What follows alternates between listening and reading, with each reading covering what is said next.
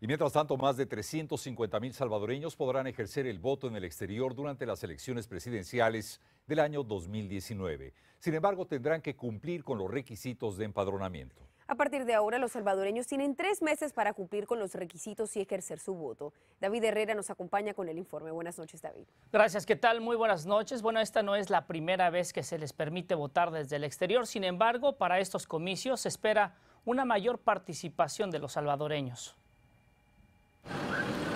El Tribunal Supremo Electoral recién abrió el periodo para que los salvadoreños que poseen el documento único de identidad con dirección en el exterior puedan empadronarse para los comicios del 3 de febrero. La modalidad de inscripción será en línea ingresando al sitio tse.gov.sb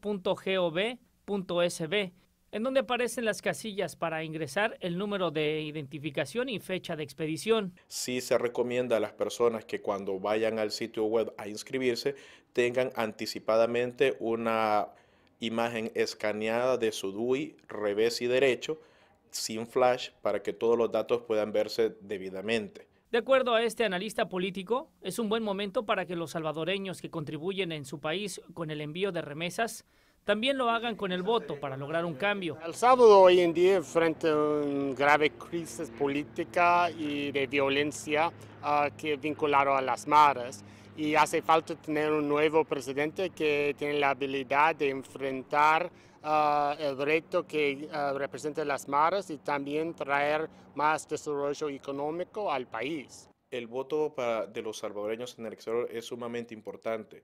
Esto básicamente es el fruto de una lucha histórica. A raíz del punto final que el gobierno federal le puso al programa de estatus de protección temporal, se espera que los salvadoreños en Estados Unidos tengan una mayor participación en las urnas. A lo mejor vamos a tener que regresar a nuestros países y por eso es muy importante que nosotros salgamos a votar para que ya cuando, si llegamos a irlos para nuestro país miremos la diferencia en nuestro país.